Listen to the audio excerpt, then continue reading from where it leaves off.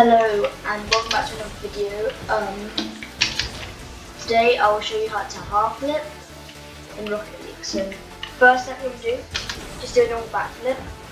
Next step, backflip cancel, which is basically backflipping and then holding forwards afterwards, and um, then air roll to the side, which like look like this all together.